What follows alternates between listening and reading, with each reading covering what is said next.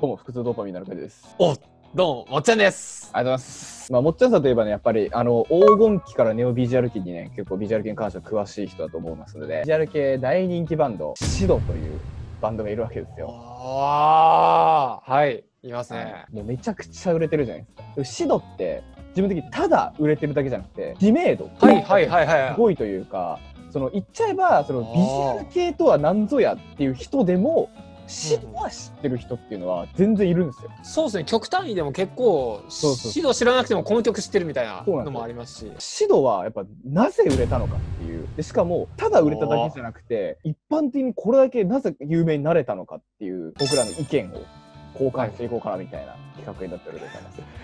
徹底討論みたいな。正月の特番みたいな。自分としての考えとしては、うん。シドはビジュアル系バンドだと思うんですよ自分も全然普通に。人によってはそう捉えてなかったりとか。であとその、まあ、メジャーデビューしたじゃないですか。しましたね、はい。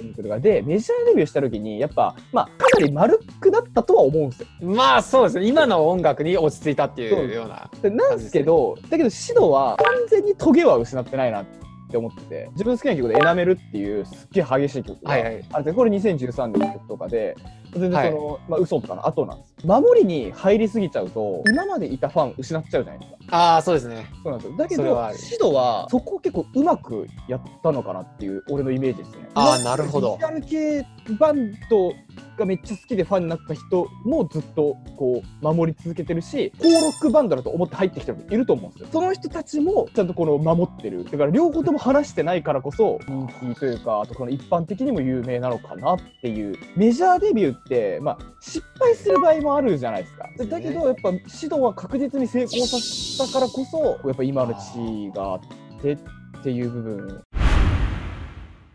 本当に単純に一番大きな理由は、あのータイアップ曲のイメージっていうのとキャッチーさが強かったっていう感じですね。モノクロのキスあとは嘘とあとランブのメロディーもそうかな。ブリーチでやってたと思うんであれがめちゃくちゃかっこよくてじゃあ VK らしさを失ってしまったかっていうとそんなこともないしここなんで一般にその取り入れたそのうまくこうなんかこう調和したというか。僕あともう一個の理由として YouTube が流行り始めたと思うんですよ。2007年くらい。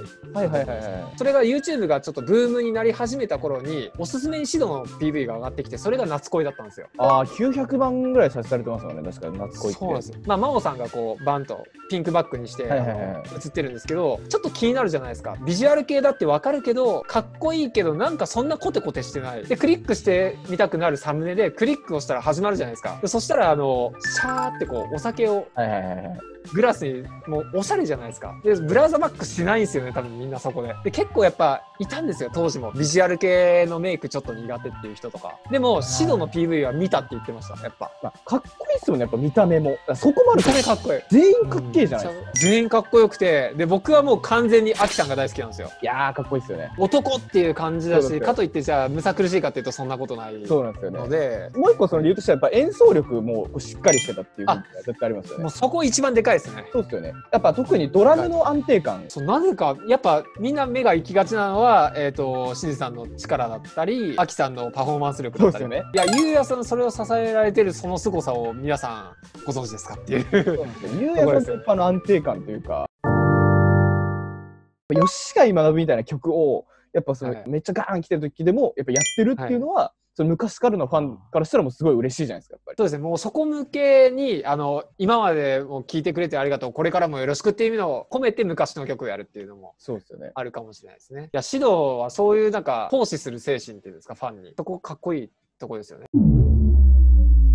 まあ、というわけで、あの指導ね、はい。なぜあそこまで売れて、あそこまでこうポピュラーな存在になったのかっていうのをちょっと語ってみました。まあ、皆さんの意見も面白かったらコメントに聞かせてください。はい。というわけで、皆さんレッツゴー